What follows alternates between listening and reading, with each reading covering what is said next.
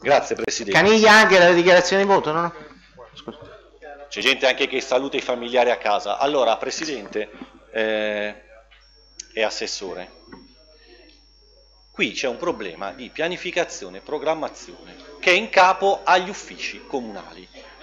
E questo è ancora più grave in questo caso, perché qua si parla che il Ministero nel 2015, sapendo che le amministrazioni hanno difficoltà di personale tecnico in grado di sviluppare la progettazione, ti dà 7.900 euro nella seconda municipale per l'attività di supporto alla progettazione.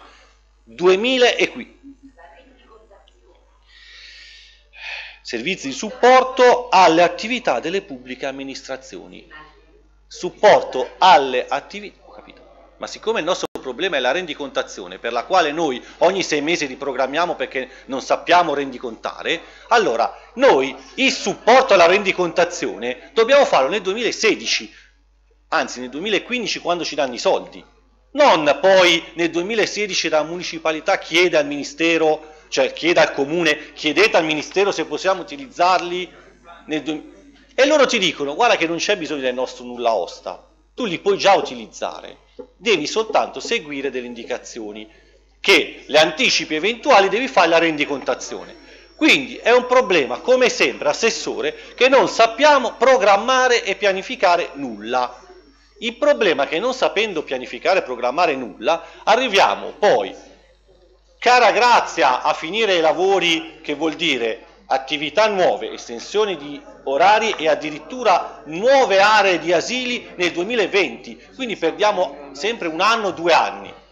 Se per voi questo non è un problema, se per voi questo non è un problema, non è un problema da discutere in sede di bilancio, è un problema da discutere in sede di commissione di organizzazione della macchina comunale, che non funziona, non funziona. Cioè, sui fondi PAC, andiamo a vedere poi anche nel bilancio di previsione, quello di rendiconto nell'assestamento, quanti sono le variazioni di bilancio perché i, la programmazione dei PAC viene fatta in modo errato. errato. Ancora oggi vedo, e poi lo vedremo nelle delibere successive, modifiche degli orari. Sappiamo benissimo che quello non lo faremo, perderemo quei soldi e questa volta non li potremo neanche rimettere nel 2020. Per cui come si fa a votare queste delibere? Come si fa a votare queste delibere? Votando sì a queste delibere è come se noi dicessimo va bene la modalità sbagliata che ci porta a perdere finanziamenti che riusciamo a recuperare solo perché il Ministero, le economie di spesa che non sono quanto siamo stati bravi a risparmiare, ma come non siamo stati bravi a spendere tutti i soldi che ci hanno dato, li rimettono in pista. E se andiamo a vedere nell'assestamento i riparti e le modifiche al bilancio di previsione sono su tutte, su tutte le municipalità, tutte, ad alcune addirittura per l'80% dell'importo.